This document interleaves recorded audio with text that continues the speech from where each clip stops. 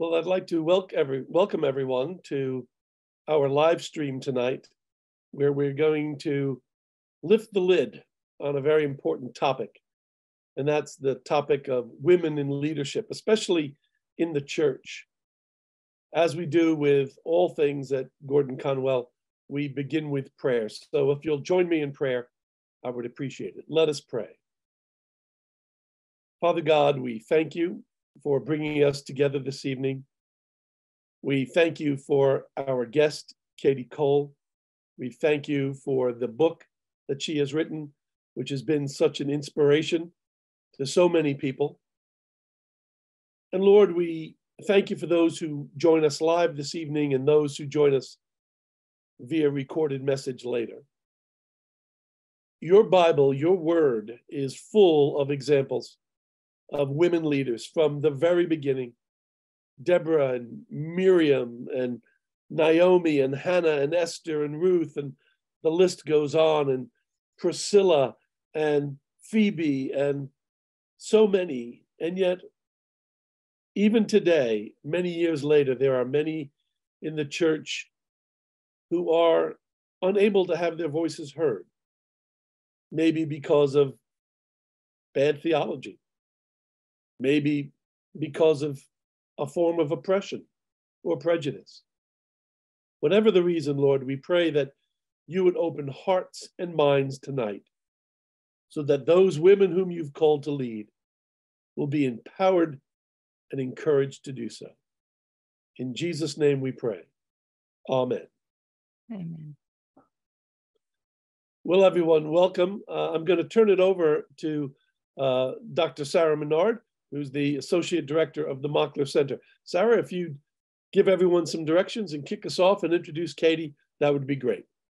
Welcome, everybody, to Lifting the Lid on Developing Female Leaders in Ministry with Kadi Cole. We are um, really delighted to have her and have you all with us tonight. Let me give you a little bit of housekeeping so you know what to expect. Um, there is a chat function where you can add questions that you have during the talk. And then um, about 30 minutes from now, around 7.40, we'll open it up to your questions, your comments, and uh, hopefully a lively discussion with everybody who's joining us live today. Um, we won't be having the video option open, but the audio will be open. And so you can um, uh, ask your question, raise your hand, put it in the chat, and we will um, uh, discuss your question between all of us. And we really look forward to your comments as well and resources, anything that comes up that you want to share with the community. Uh, we really welcome all of that. So don't hesitate to put your questions in at any time. And um, but just know that in about 30 minutes, we will turn to you and to your questions and your comments. Kadi is an extraordinary person. We have been incredibly mm-hmm. blessed to meet recently. Uh, she joined us at the Joanna Mockler Leadership Awards dinner uh, as one of the steering committee members, which really helped to shape the awards and uh, lead us in a, a, really powerful journey of identifying the women leaders and then being able to give them the awards. And so we really couldn't have done that event without her. And through the course of that event, we got to know her a lot, little bit better. Um, she is the founder and CEO of Kadi Cole and Company. Um, but really interestingly, um, she comes from a perspective of 25 years in full time ministry, studying leadership and organizational development, most recently serving as the executive director at one of America's largest and fastest growing multi site churches, which she talks about a lot in the book. She is passionate about helping local churches and uh, really equipping leaders to fulfill their calling, all leaders without exception she's a true visionary in the sense of teaching te- churches to really harness all of the god-given talents in the congregation and particularly those of women who um, we will be talking about um, all of the barriers to that tonight and also some ways to um, to get around that in terms of how to become a more flourishing congregation. Um, so she is not only an engaging practical down-to-earth speaker um, but she's also an expert in leadership, in organizational development, in spiritual growth, in parenting, and in really leading a full life. And so this is as much a, a spiritual formation opportunity for us mm-hmm. as it is um, just to soak in from Kadi's her wisdom, her insights, and of course her research. And so Um, Developing Female Leaders is the title of the book, which uh, you can buy a copy of on her website. We will make sure that the link is there and you get a discount um, by participating this evening. So we'll make sure that's all in the chat for those of you that want um, a, a, copy of Kadi's book. Without further ado, I'll turn it back over to Ken, who's going to give us an introduction to the Mockler Center, and then we will dive into our discussion. Uh, Ken, you're muted. That was absolutely inevitable. Uh, we're really looking forward uh, to what Kadi has to say. And to put it into perspective, um, a few months ago, the Mockler Center Fellows got together and we talked about how we could honor uh, the matron of the Mockler Center, Joanna Mockler, who is the widow of uh, Colman Mockler, the former chairman and CEO of the Gillette Corporation, who endowed half of my chair at the seminary and all of the Mockler Center, including uh, Sarah's position as well as mine. And we decided one of the things we wanted to do was to honor her by recognizing and honoring other women leaders, um, especially here in the Boston area, but even beyond. And so for the rest of this academic year, uh, in addition to Kadi and this conversation, we are going to be introducing you folks out there uh, to these magnificent women who were given awards because of their leadership in the public square. So we will have Dr. Rosalind Picard, for instance, from MIT, who was one of the recipients, be a guest uh, on this show. We're going to have Kristen Colbert Baker uh, from the Mars Corporation, who is going to talk about her life of uh, empowering people, including and especially women in the corporate world.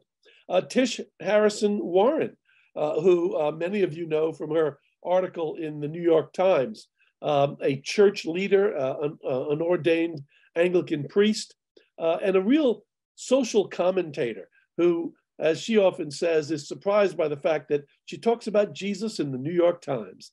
Uh, and last but not least, Dr. Gloria White Hammond. Uh, Dr. Hammond is a local Boston woman who is a medical doctor. She is um, a professor at uh, Harvard Divinity as well, and a co pastor with her husband at uh, an AME church uh, in the Boston area. So, four fantastic women. Uh, and it just gives you a sense of what we try to do at the Mockler Center, which is to engage with the public square faith, work, economics, justice, you name it. That's what we try to do. So that's why Kadi is here. Kadi, tell us, why'd you write this book?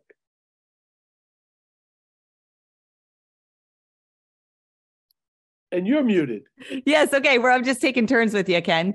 Uh, yes. Thank you so much, Ken and Sarah, for having me. And it's so great to see all of you uh, who are here live. And I know um, many people will be joining us later. So it is such an honor uh, to be connected and in relationship with you all. I had such a fantastic time serving on the committee for the award ceremony. And of course, uh, the award recipients, I just want to give a shout out. They will be amazing to hear from. I feel like we could have stayed there all night uh, learning from them and getting their wisdom. So I will be looking forward to those upcoming chats as well. Uh, but yes, thank you for the opportunity to come on and talk about this topic and about the uh, research that we did that ended up turning into this book, Developing Female Leaders. Uh, it has really been a fun passion project for me the last few years, uh, mostly because, to be really honest, uh, I haven't really been someone that's been super. Um, overt in their championing of women. And part of that is in my own journey. I grew up in some very conservative environments. Um, I did get a master's degree in human resource development as part of my graduate work, and my church recruited me to come on staff as we were growing rapidly. And it was sort of my introduction into ministry. Um, I never really knew that people got paid to be in ministry. I didn't know you could major in ministry at college. I kind of grew up in just this very um, uh, un aware space in a tiny little church in Montana. And so, as I was kind of diving into these experiences, I was networking with other churches, I was trying to lead in a, a really amazing church that I loved. I was running into these boundaries and barriers that, to be really honest, I was kind of a classic female leader in that it really made me question myself. Um, and obviously, I was a young leader. I had a lot to learn. But as I look back now, and as I've been studying the research on this and talking with hundreds and hundreds of women who are leading in uh, various environments, particularly church environments, how common it is for uh, us to find resistance or to find barriers or to be walking into a space where a woman hasn't walked before. And when it doesn't go absolutely perfectly, we question ourselves and our own abilities. And it causes us to doubt our capacity as leaders. And so, as I've been uh, journeying this in my own way. And then as I uh, started consulting with other churches and uh, speaking more on leadership development and on helping churches fulfill their mission or maybe go multi site or add to their leadership development systems, I started having these really unique conversations, which were very strange to me. It would usually be a senior pastor or executive pastor or the two of them together would want to sit and have lunch with me at this conference or this networking meeting. And as the only woman in these rooms most of the time, that was a very unusual experience. I usually didn't have people uh, wanting to sit and have lunch with me. Not that, uh, you know, I wasn't having flashbacks from middle school cafeteria days, but it was, um, there was a certain level of awkwardness that I think I had become so accustomed to. I didn't even really uh, notice it as much. Um, but when they wanted to sit and eat with me and ask me questions about the women that they had on their team or these young leaders that were uh, coming up through their pipeline, or they have these really sharp leaders who are really in their church, love their church, volunteering in their church, and they would love to have them on staff, but those women are hesitant to do that. They just had all of these questions, and uh, it was wonderful conversations. I was really impressed by the number of pastors who were trying to make headway in this topic, particularly when they were from uh, cultures, uh, cultural context, or churches that historically had not welcomed a lot of women into leadership. But I found my found myself. Um, stumbling a little bit over how to explain to them how some of these ideas they had were maybe not the best ideas in the world. Because they were really smart men. They were really godly uh, leaders they cared deeply about their church and they were trying to do the right thing. But um, inevitably i would get sort of the senior pastor who was like we have this sharp woman and we want her to leave her marketplace job and come on staff and i want to teach her ministry. I know she could be a great powerful leader here. Uh, so i'm going to make her my assistant so she can come to all the meetings and hear all the conversations and learn all about ministry for a few years and then help me lead this church. And it was hard for me to explain to him why that was not the best way to help her grow in her leadership or to gain authority among the congregation or um, or uh, even that that's the correct background for the kind of role that you see her in. Like how can we sort of bridge the gap and put her in a pathway that actually helps her lead and have a greater impact in your church and in the kingdom? Uh, we had a lot of examples of women uh, who were uh, getting married and having families and that was a very awkward conversation for pastors to know what to do with them. They didn't know how to bring it up um, and still honor women and also you know not break any laws. So there were those kinds of conversations. And really, at the end of the day, uh, I found that we were just all very ignorant. We we knew we wanted to do something different. Um, I knew there was way more that we could be offering women. And at the same time, as we were working with these churches, they were trying to fulfill the mission that God had given them, the vision that they had for their church. And the number one issue that they were running into was not enough money. It was not enough vision. It was not having great opportunities in their community. It was not having enough leaders. And so these two conversations at the same time were just so compelling to me that really, if we could solve these with each other, we would really go so much further faster. And so, um, part of it, like I said, is I just was not brought up in an environment where women uh, were seen as equal in leadership spaces or were given opportunities. For some reason, God just opened doors for me to be able to be at very high levels of leadership and serve on the executive team uh, at a really wonderful church. But again, I was the only woman serving in those kinds of levels. Uh, and so I decided to do a deep dive on the topic. I wasn't thinking of writing a book. I was really just trying to help these churches and these pastors who had come to me with this dilemma of what do we do and how can I help them do a better job in what they're doing. And so i did a big deep dive in in the research in academia in ministry in the marketplace which there is um, if anyone has been studying this or looked at this at all there is so much wonderful research and just incredibly eye-opening insights from it uh, and then I also sent out a survey uh, online. I kind of was hoping to get about a, 100 women to fill it out. And in about two weeks, we had over 1,200 women who were leaders in their churches fill out this survey to give us kind of an understanding of, uh, at the time it was in 2019, uh, where are you? What have been the things that have been most helpful? What's the common challenges you're facing? Uh, what would be great for the guys to know about your experience? What do you wish you had now? Uh, looking back in your history, what, what were those kind of key moments that really helped you accelerate into leadership? What were those things that distracted you or uh, uh, disappointed you or, or kind of defeated your spirit in the process. And so through all of that, we um, put together um, what now has become Developing Female Leaders, this book where we take really um, all of that information and turn it into eight best practices um, from interviews that we did with pastors and female leaders and those churches who are doing a great job in this. What are those best practices that we can all do uh, to do a better job? And as we were kind of uncovering this, what we found is that uh, the topic that most people think is the biggest issue for women in leadership, particularly in church environments or faith based environments, is that it's a theological one, that we have different theologies on this, and that uh, there's sort of like people who are for women and people who are kind of against women leading and and those are the two options. And what we discovered in our research is that uh, our theological positions actually had almost zero bearing on how good we were doing as organizations and as churches elevating and training women into leadership.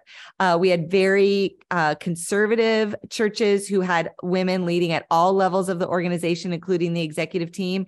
We had some very progressive and egalitarian churches where there were almost no women serving, even though their theology uh, welcomes women and actually dictates that they be empowering women to serve in leadership.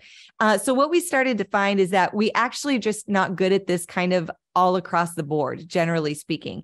Um, and so we have a lot to learn in terms of how we lead our cultures, how we as leaders practice uh, some of these best practices. Uh, and so that's what it really ended up coming down to is the individual practices of the leader and the kinds of cultures they created. So again, it wasn't theology, it was my individual practices as a leader. So obviously, if you're a lead pastor, a senior pastor, a district leader in your denomination, uh, your individual practices not only affect your own team, but the leadership influence that you have and the kind of culture that you build. Or you could be a team leader who's volunteering as the head of the ushers, and your individual practices and the kinds of culture you make on your team also really changes the ability for women to rise in leadership and what we're teaching about our theology. Uh, so that's really where the the book uh, was birthed from. Um, I sent it out into the world, uh, kind of wondering if I was going to get uh, slammed from some of my peers or some of the cultures that I come from. But I am really uh, happy to share that it was really met with wide open arms. The book took off in sales way more than any of us really thought it would. Um, but more importantly, the emails and the messages on social media and the people I get to talk to when I speak on this, just the number of people who have really really decided to champion this in their own local church. The number of particularly male leaders who um, I believe God has really been stirring in their hearts for a while. They wanted to do something. They knew that what they were seeing wasn't exactly right. They have women in their own lives, their wives or daughters that they're raising, or women that they work with that they know have uh, equal capacity to lead as they do. And they just weren't quite sure how to do it. And so I'm a very practical person. I do a lot of how to's. Uh, and so I really wrote the book for men who want to do a better job, but have just not been exposed to the research or have just not understood the right questions to ask. Or um, what I find most often is they have had such an incredible experience growing up in the church and being uh, given leadership opportunities, sometimes from a very early age. They went to wonderful schools and seminaries. They uh, got hired on at churches with a lot of leaders who mentored them. And that experience is so positive and so ingrained that it's oftentimes hard for them to imagine anyone serving in ministry who hasn't had something that.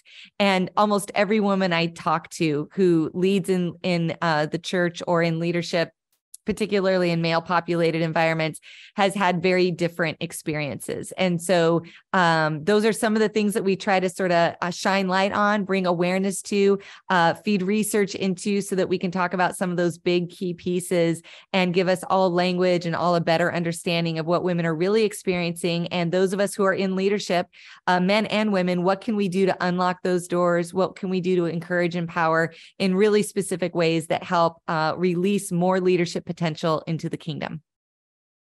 Wonderful. Thank you for that.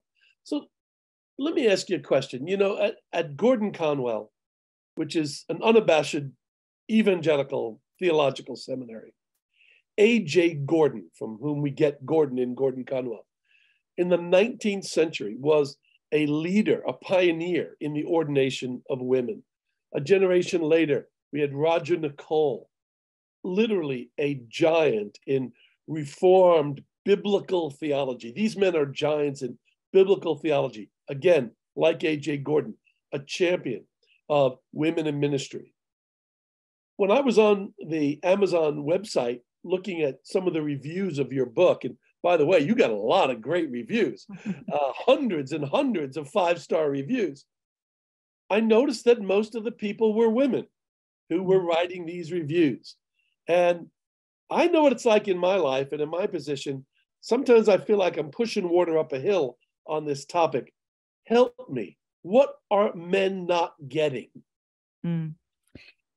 Yeah, I think uh, that's a big question. I think uh, what I just mentioned about just the um, the difference in our growing up in leadership and experiences is one of them. So really, it's a it's an issue of just being unaware of the issue or unaware that uh, for most women, a lot of doors are closed. And uh, like I have many experiences I share in the book where uh, there were people who actually discouraged me from leading, or um, maybe didn't give me the same opportunities as my uh, my uh, male peers were getting. And so those kinds of opportunities are sometimes baked into our cultures. They're sort of uh, handed down in our practices, and most men um, are unaware of what those are. And so there's a lot of just unconscious bias, um, not just in our behavior, but in our systems that really discourage women along the way. And so I would say that would be one of them. Um, another one, uh, one of the pieces, my favorite uh, elements of research in the book is uh, around what we call the sticky floor. So uh, you've probably heard of the glass ceiling, those those structures and barriers that kind of keep women out. Oftentimes in the church world, we call it the stained glass ceiling. Uh, and and but on the opposite end of that is what we call the sticky floor, which are those conversations and thoughts that women have in their own minds that keep their feet stuck from the floor and prevent them from moving forward for opportunities. So one of the research pieces talks about how men and women apply for jobs differently. Uh, men, when they look at a job description, if they feel confident of about 60% on a job description, they apply for it. They kind of they'll figure they'll probably get it. They'll kind of fake it till they make it. They go for it. Uh, women, when they look at a job description, they have to feel confident of 100% of what's on there from the first day, or they don't even apply for the job. So they don't even put their name in the hat.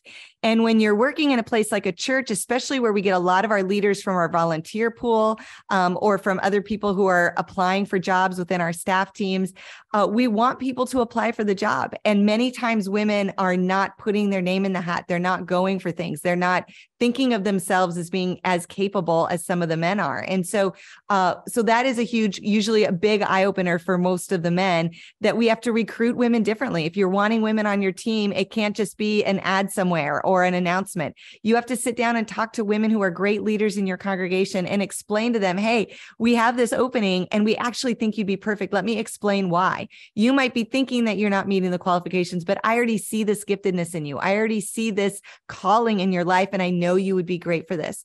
Those conversations will change the trajectory of a female leader's life for her life.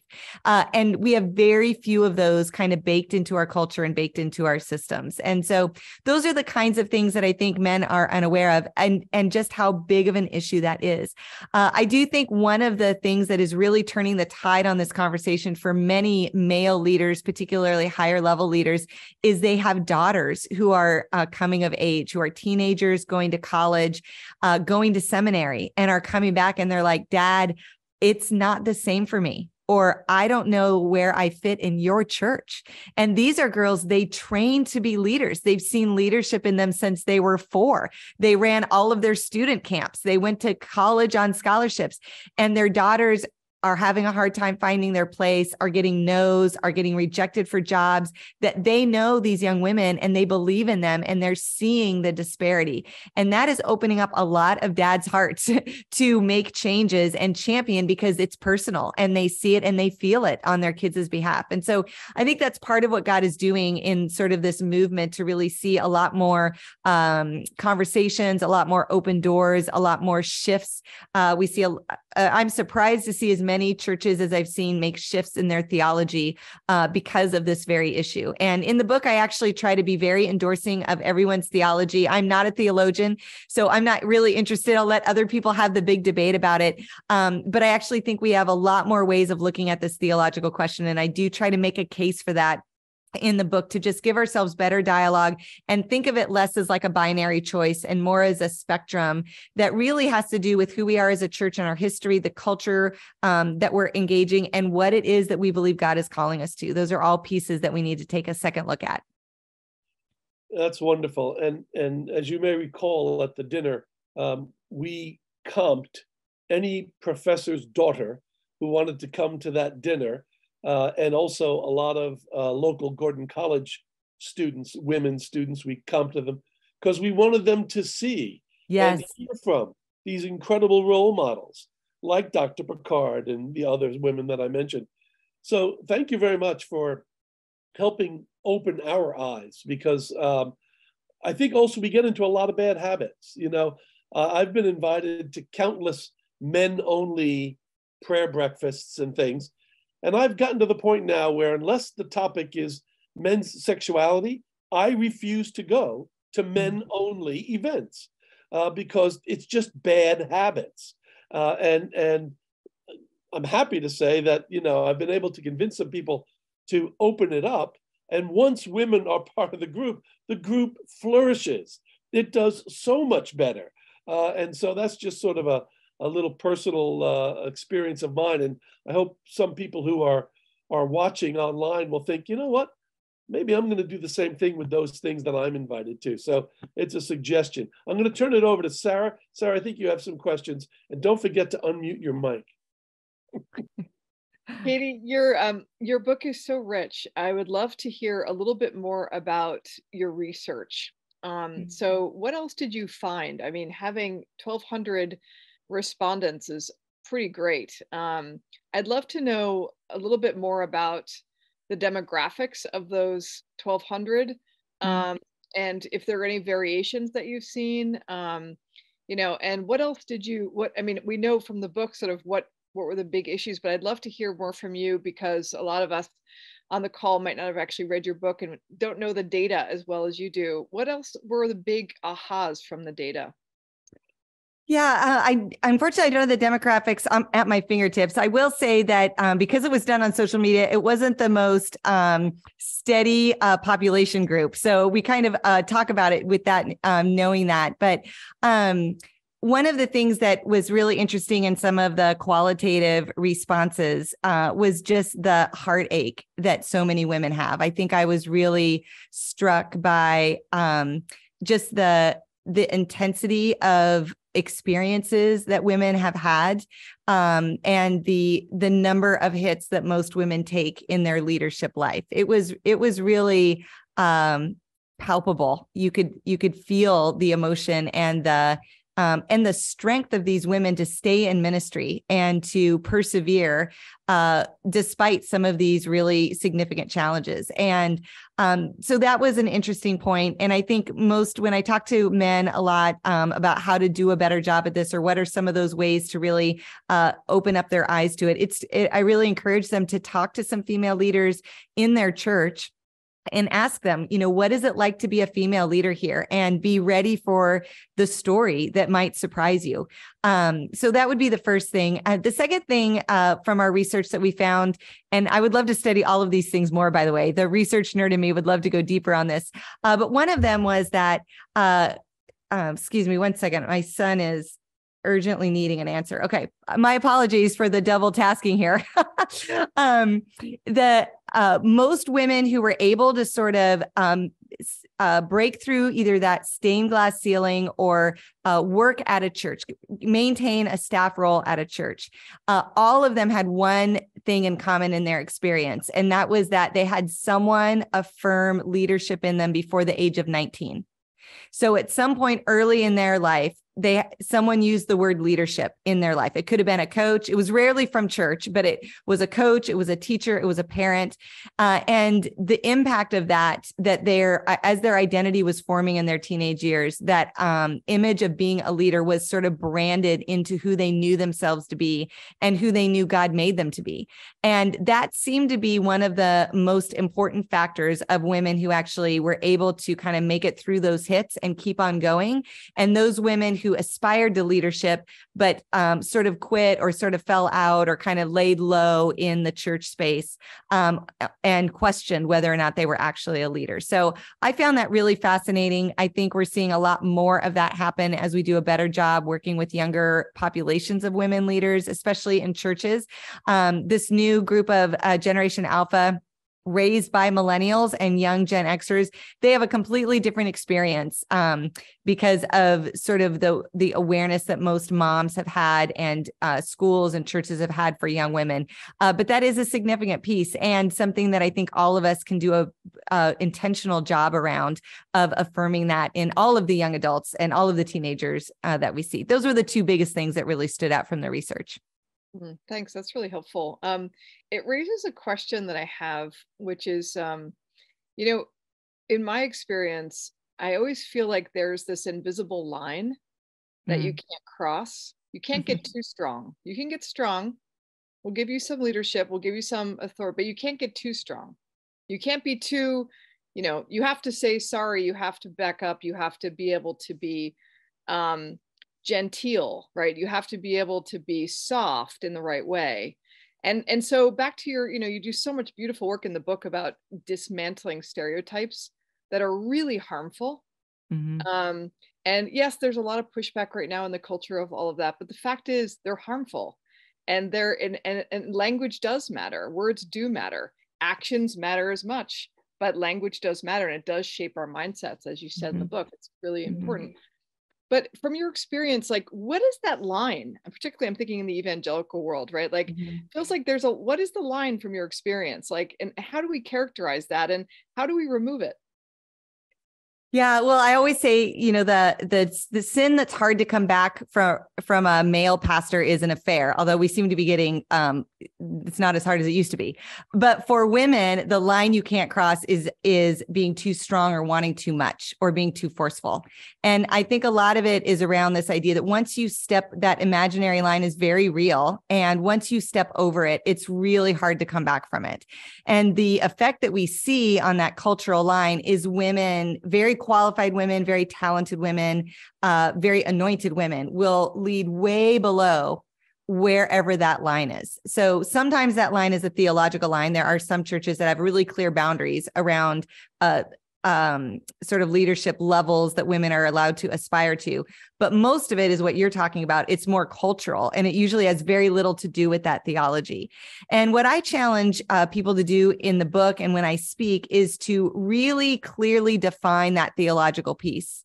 Um, most of it is assumed in churches, and um, most senior pastors think that it's much clearer in the culture than it is. To them, it seems very obvious. This is how I treat women. This is what we do. This is what we believe. But the further you get away from the senior pastor's office, the lower and lower that standard goes and the less and less is tolerated for women. And so that's why those cultures that we're setting are really important. So clarifying your theology, again, whatever your theology is, there's room to to move. there's room to get more.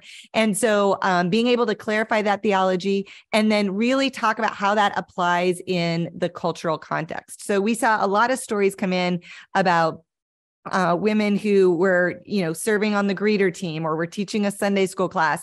But if there was a hint of things where they felt like they wanted to do more or offer more or make a suggestion or do anything that was critical, they got their hand slapped for that or they got put in their place for that. Uh, women who weren't allowed to teach in rooms where there wasn't sort of an oversight present, even though their theology didn't necessarily dictate that, they were kind of bound to this like approval process. So those are the things that as leaders, again, we can really clarify that theology and then talk about how we want to see that play out. And then educating, we find that the leaders who um, sort of have the worst habits are middle managers. And so in the church world, that tends to be uh, uh, frontline pastors, people who are leading volunteer teams. And so they're teaching theology by their practices around women to their volunteer teams, much more than what we hear on Sunday morning or in a, in a class or in a small group. And so making sure our behaviors really matches our theological viewpoint because theological is um, theology is learned intellectually, but it's also learned practically and in relationship. And so that's actually where it gets imprinted the most. Um, so that's where we have a lot of room to grow in all of our churches really powerful. Thank you so much for that. Over to you, Ken. Yeah, Kadi, uh, you know, my background is in the corporate world before I was a, a professor. And um, I found that the hierarchical model is becoming quite passe in the corporate world. And we're seeing a lot more teamwork and a lot more interdepartmental interaction and people operating as peers uh, in the church, we're stuck in an old model. We're stuck in a very hierarchical, you know, the the sort of sage on the stage, senior pastor, and then there's the other pastors, and then there's the laity, and then there's the youth, you know, etc. I have to believe if the church is going to survive, much less thrive, in the 21st century, we're going to have to get out of that model. And again, in my experience in the corporate world, the more diverse the team, the more highly effective the team. And I'm wondering, as a consultant to churches, um, are you seeing this trend? And do you think that's an opportunity for uh, the church to kill two birds with one stone, as it were, empower women and change this model? Uh, 100% yes. I think you're definitely onto something. Uh, so, what's been really interesting in sort of just church research is that most of what people are missing from their church that's causing them to leave is a lack of connection, a lack of relationship, um, a lack of a sense of a community, uh, lack of collaboration and decision making, all the things that you're talking about, which just happen to be the things that women tend to naturally bring to teams and organizations. And so it was funny. A couple years ago, I was at a conference and uh, I didn't quite know I was walking into this scenario, but they actually had me on stage. Um, as sort of like the pro woman person and a very conservative, well known pastor who was sort of a uh, more traditional viewpoint. And they were kind of trying to pit us against each other, actually, which that is not my goal at all. I'm actually trying to help men and women lead together. I think it's the together piece that is the, the missing link, kind of to what you're pointing to. Um, but at the same time, in this in this conference, they were talking about all this research about how teams need to be more collaborative, how they need to be moving. It's how we're going to reach the next generation. Uh, generation Y and Z are com- are very integrated, really focus on diversity, uh, really work collaboratively. They've been raised in school in mostly group work, so that is the way they're entering the marketplace, and it's the way we have to become intergenerational in all of our team settings. And you're right, the church is becoming more uh, tends to be resistant to that, and so so as we were talking about this in the in the conference and kind of having this very intense but awkward conversation uh, that was really the the key point is that um, it's the same issue that as we bring more women more diversity more people of color more people of different ages i feel like ageism is one of the untalked about forms of uh, bias in our churches. We either have churches that um, overemphasize youth, where uh, people age out of ministry by the time they hit 40 or 45, and it's all about people in their 20s in every role. Or we have people who um, don't want to let anyone under 45 lead, and it's still it's kind of the the um, the older generation is still ruling everything. We really need all of those folks to come together, and so um, there are many benefits, as you mentioned, to having diversity on our teams, and m- much of what I think God has even accelerated in the uh, pandemic and sort of um, especially in america some of the challenges we've been going through uh, particularly in churches we do kind of hit all of those birds with one stone when we add all of our congregation and use all of their giftings in all of the places in the church. Wonderful. Thank you. Um, we're going to open it up by the way now to anybody who wants to go into the chat and ask a question. Uh, that's probably the easiest way to do it but in the meantime, uh, I have another question for you, Kadi. Um, in your book, you talk about the relationship between spiritual formation and leadership. And I found that really quite fascinating, as though they're two sides of the same coin. Mm-hmm. I wonder if you can unpack that a little bit, because I just think that is that's that's really a, a nugget of gold there. If you could elaborate on that, please. Sure. So as we're uh, growing up, particularly if we have the opportunity to grow up in the church, but but even uh, just as uh, if you're a newer believer, you come to faith in, as an adulthood. Those two things are leadership development, um, the gifts that God has given us, the calling He has on our life, the role we play in our local church body, and our spiritual formation really are designed to go together. Uh, they bounce back and forth, they integrate. It's really hard to grow as a leader if you aren't also growing in your prayer life. It's really hard to grow spiritually if you aren't living out your uh, your faith in more practical ways and influencing other people. So uh, sharing your faith with an unbeliever or leading in some capacity. They really go together. And most men, the point I make in the book is almost all men grow up with those two things highly, highly integrated. And so the, you were talking about those prayer breakfasts, uh, those men's prayer breakfasts, or the the men's ministry. They often talk about leadership. In fact, they're almost exclusively leadership based conversations in those environments. Um, and so women have a very different experience uh, because we tend to segment out leadership development and spiritual formation. And this is sort of a leftover in culture, so people will have different experiences with this. But um, I would say it's it's very normal in most especially evangelical churches, for there to be a women's ministry, which is all spiritual formation, almost uh, no leadership concepts are talked about in the actual content that's taught. There's maybe some leadership development, like we need small group leaders, but it's often like all in a room, and you're basically facilitating three questions at the end of a conversation. It's it's when it comes to leadership development and how far you can take someone with gifts in that capacity. It's it's very it's uh, very base baseline, um, but we don't often have leadership spaces where women are welcome. So many women with great leadership gifts in churches have a lot of spiritual development. They've done every Beth Moore study. They've read through the Bible in a year multiple times. They can, you know, chapter and verse on almost anything you want to talk about. But in terms of actually putting that into action in their local church, very, very small impact unless it's children's ministry. And so that's the piece that I think if we could integrate those more together, if we could help women have more leadership in their in women's spaces, or I'm a little bit, I lean where you are, Ken. I'm like, I'm not sure gender separation is the right way to go. I think it's the togetherness and the integration where we're growing together in our leadership, we're growing together spiritually. The that John 17 vision that Jesus has for us us to be one, to be unified, to be together. That's actually the thing he says that will make a difference in the world. Lost people will look at that at that togetherness and know how much God loves them. That's the thing that will make the difference. I always say when if I were Jesus and I were praying at the end of my life and looking at us, the the disciples yet to come and the state of the church today, I would pray for a lot of things, and I probably would never once think of unity. I would think of revival and I would think of prayer warriors and of strategists and of leaders, but unity is not what I would think about. And that's the thing he wants for us. And so, unifying not only in our development, but unifying in our togetherness and how we lead and grow. We need we need each other to be everything God's called us to be.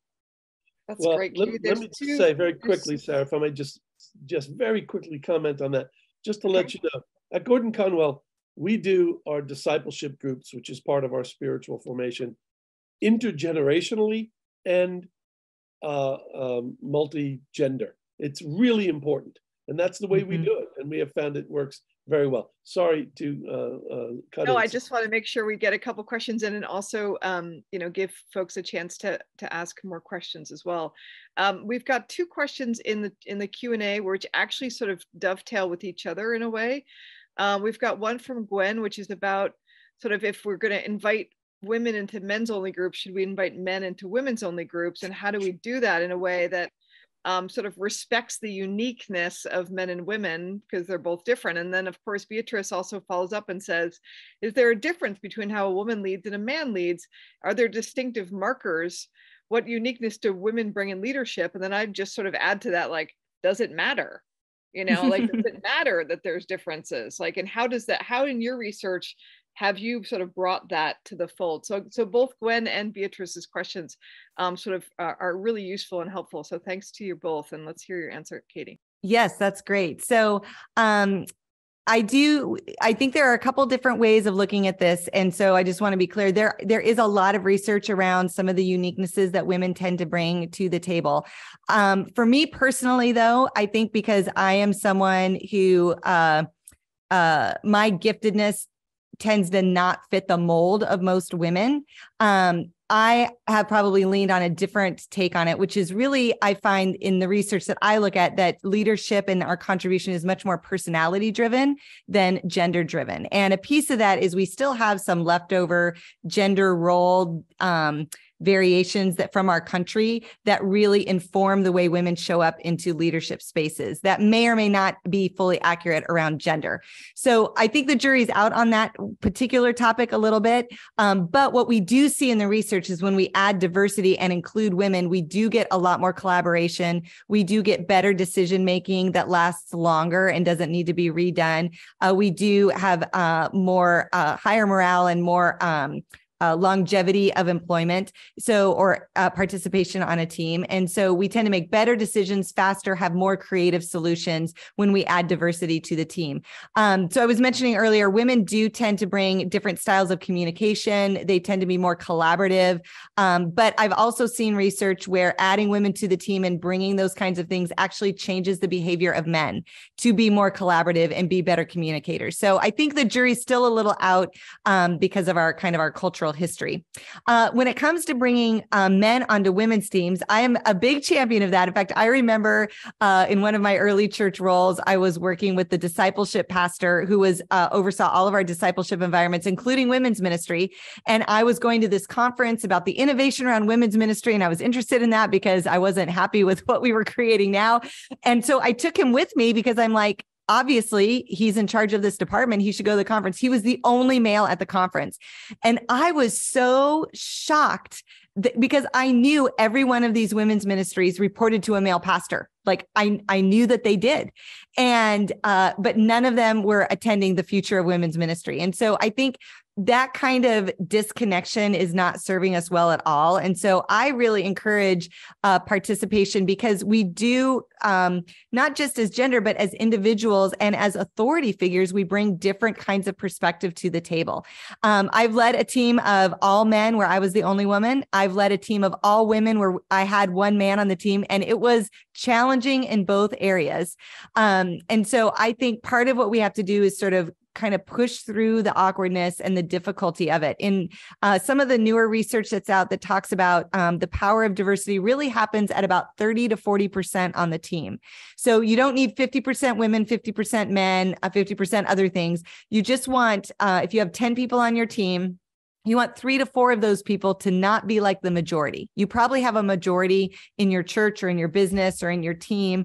You want three to four or 30 to 40% of them not to be the majority. That's when we really start to see the difference. So as you invite male in men into your team, just like I recommend when you bring women in, if you're going to take the plunge, at least bring two people on at the same time because the power of that um, in terms of the diversity ratio and the comfort level of the people and the ability to get away from gender bias increases exponentially when you bring two people on. So instead of looking at the team of men with Kadi on the team and it's like, ooh, Kadi's got a problem, or that must be what women are like, you put Kadi and Sarah on the team, and I react one way and Sarah reacts another, and all of a sudden gender is not to blame or not the issue anymore. Now we've just got great leaders having great conversations, bringing our experiences to the table. That's terrific. We have a question from Elise and Pastor Lenita Tiang, but before we get to both Elise and Pastor Lenita Tiang's questions, I have to do a follow up on that, Kadi, because I feel like one of the undercurrents of both of these previous questions comes at this idea of how do we address the conflict mm. of the language that's hurtful from both sides um, you know so you're in a group and you want to bring the men in to have diversity and yet you know um, the language that that they're using is um, is still within a stereotypical way that actually undermines women's identity women's leadership women's strength um, it's so often that you bring the one guy in the room and he still dominates the conversation, even though he's not the brightest bulb in the group, right? so, so how, I mean, so this is part of it is like, how do we get better? And this is obviously extends to to race and class, and how do we yeah. get better at calling folks in to conversations about language where mm-hmm. it doesn't sound self-righteous, right? And where it really is an invitation to say, I'd love for you to have empathy and compassion for how I might be feeling around that. Do you have any tips uh, for both men and women on how to do that more elegantly and and in a more in a more sort of Christ honoring way? Because it's language is really tricky. Yeah, language is important. How we how we address one another, how we interact with each other. It's it's the formation of our relationships. And so um a couple suggestions. I do have a lot more in the book, I will say, but one of the most important things I think is to just acknowledge that it is difficult and it is a minefield and it is very emotionally charged really for all people because we're we're creating change. And when you are a leader and you are instigating change of any kind, you have to lead it very carefully. And I think sometimes the awkwardness of this or the uncertainty about what to say or what not to say prevents us from talking about it. And therefore, it prevents us from leading change effectively. So, if we can think of it more about like, I'm leading change in the team, just like I would if we were doing a big project, or just like I would if we were going to reorganize the church and, you know, undo our org chart and reassemble, I would lead it very carefully. I would start early. I would introduce the concepts. I'd read a book together. I'd get common language. I'd get a vocabulary around it. I'd talk about things proactively. I'd play out scenarios. I'd then I'd introduce it slowly. I would do a lot of debriefing. You cannot rush good change. That's the the biggest challenge to change is you don't want to go too slow where you're not actually moving, but you don't want to go too fast that you don't allow people to adapt to it. And everyone adapts at a different pace. And so that's that's the hard part of change. And so I think that's the first thing is to go if you're going to do this, you have to acknowledge the bigness of what you're doing and the um, you're changing the spiritual climate of your team. And so it requires prayer. It requires a humble spirit. It requires uh, going to people and preventing conflict. It goes to, it requires going to people and, and, and apologizing for conflict. It, it requires all of those spiritual disciplines because it is spiritual work. And so we have to go after it in that dimension. Um, I think the other piece I would say is uh, as serious and as intense as that is, is to also make it okay to make a mistake or okay to build some camaraderie around it. I I, I often use family um, metaphors and examples when I talk about leadership in church because we really are designed to be a family. We're a relational organization, and so uh, if you had two kids and you know two boys in your family and you were having a third baby and bringing in a daughter there's probably some conversations you would have about that there would be some expectations you would set. You would give your kids language and a role to play with their baby sister that might be different than if it were another brother or if you only ever had two kids and were bringing a puppy in. Like there, you would you would lead it differently. And so I think we it requires that same kind of intentionality that we're not only changing the work dynamics, uh, we're changing the communal experience. And affinity is so much easier than diversity it's just so much easier. It feels like more fun because it kind of is sometimes. Like the jokes go faster, the meetings go quicker. You can look at someone and read their mind. Uh, but but it's not the place we want to stay. And so part of that spiritual formation that I've uh, really tried to champion is affinity is what we do when people are young in the faith or young in leadership, because you have to be able to see yourself and connect with someone. But you stay immature if you don't move to diversity diversity is where maturity is. And so with our teams even casting that vision that that's really the goal. We're all going to get better leader become better leaders and do better work if we have each other. So all of those things are kind of those basic leadership concepts but we have to do it very intentionally and uh and consistently in order to see it happen successfully. Your chapter be the other is really powerful by the way. Mm. just shout out to that in the book. Um, i'd love to un- unmute elise and have her ask her question live. Elise, can you unmute yourself? Hi. Yeah, of course. Um, I would love to. Okay, so the question was uh, in your experience with churches and things, have you seen an organizational structure for churches that actually favors women leadership? Um, because a lot of churches follow the pyramid model, and that does not seem to do that. Yeah, Elise, it's good to see you, by the way, or hear your voice at least. Um, so yeah, that kind of hierarchical pyramid model that Ken was talking about, um, that is uh, you can refer to that even sometimes as like um, the Moses or Old Testament model, right? There's like a guy on top that goes to hear from God and comes and kind of like shoots the vision down and and and sends it down. I would say most churches and uh, where more people are headed is more towards an apostolic model, where it's more collaborative. The Holy Spirit comes to each of us. It's a greater emphasis on uh, like theological teachings around the priesthood of believers versus maybe sort of um, kind of prophet style, pro- priest prophet style leadership. Um, so that would be sort of the theological underpinning is that more apostolic model. I don't know that I would say it favors women over men. I would say it favors collaboration and togetherness and giftedness and anointing over gender.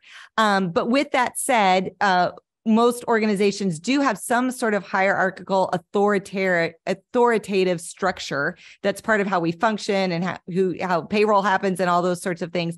I think the piece that um, we see the most growth and opportunity for women is when leaders have taken time to uh, promote women into higher level roles of leadership so that you see women leading at every level of the organization. Uh, it's not necessarily an organizational structure, it's more the culture and the style of leadership that takes that organizational system and makes pathways for women to thrive in that. That's super helpful. Okay, thank you so much. That's great. Um, Pastor Lenita, your question um, on um, spiritual formation and women groups and how to um, encourage teenagers and younger women to take up leadership roles. Um, Jason, can we unmute Pastor Lenita?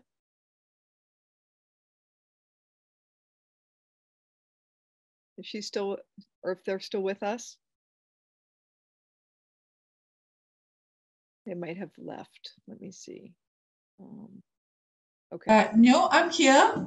Great, wonderful. Hi. Welcome. Hi, hi. Yeah, good morning. I'm in another part of the world. It's morning here in Malaysia. Wonderful. Yes, yes, yes, yeah. Um, oh, I, I like the way, um, Kadi, you talk about spiritual formation versus leadership in women's group. Uh, you, you're very correct. Even here in this part of our world, uh, in women's group, we often talk about uh, spiritual formation and um, I, and I guess because we're wired by the uh, creation narrative of women being made as helpers, so we, we have fantastic helpers, you know. But um, how can we encourage uh, teenagers and younger women to take up leadership roles, like in you know youth groups, uh, in in uh, we have Girls Brigade here, uh, and then um, uh, we have um, teenagers, you know, younger young, younger youth so mm-hmm. usually, even in, in, in such groups, the leaders, the key leaders are uh, more boys than girls.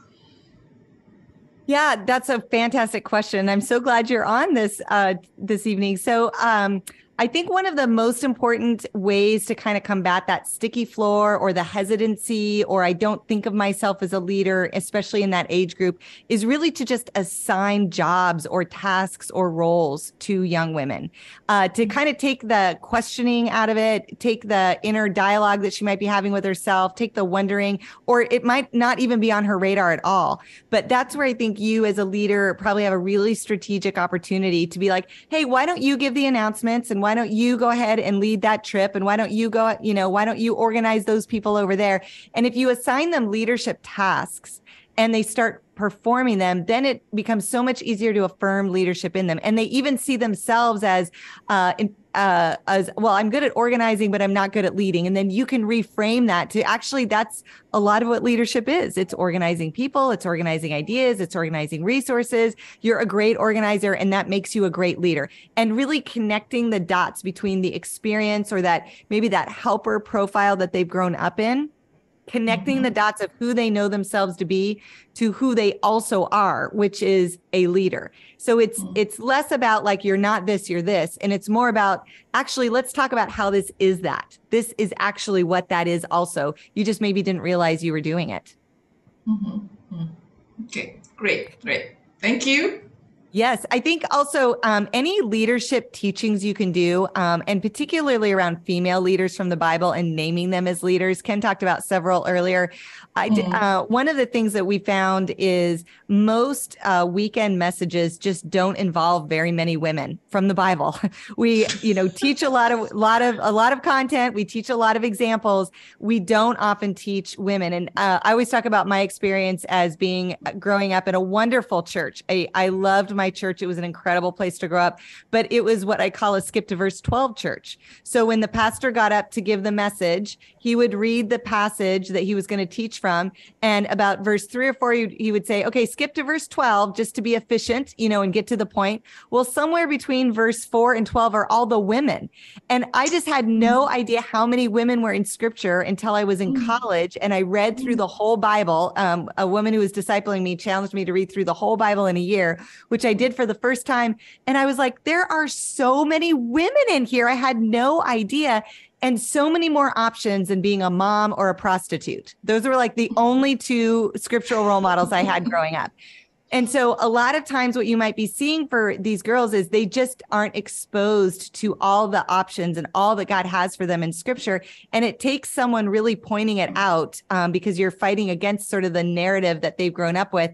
But it doesn't take long to spark a fire in someone when you hear what Miriam did or you see that Phoebe mm. was carrying the book of Romans. It it mm. shifts young women's mindsets when you just highlight them. Sometimes in just a small devotional can go a really long way to just open up up uh, people's minds and those young men to realize that there are women serving in high capacity spaces in scripture and to open their minds to see these sisters as partners in ministry at this age. Mm, okay. Yeah, that's that's helpful. Thank you.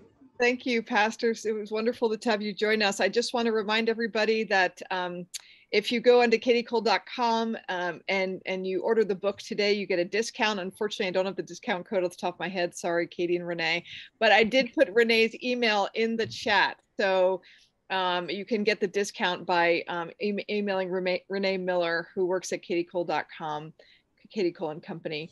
Um, Kadi, we want to give you the last word. Um, mm -hmm. But mm-hmm. we just also thank you so much. This has been so inspiring for all of us.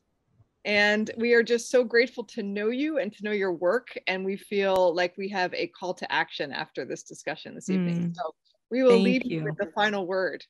Thank you so much. I do just want to say um, I would love for you to go to the website. There's a ton of free materials on there, um, some things that match the book, some podcast things that you might find really helpful. And I do a newsletter once a month of resources around women in leadership. So if that is interesting to you, um, please feel free to sign up for that. So um, I think my last thoughts, I would love to just say something to both the, the men and the women on this call.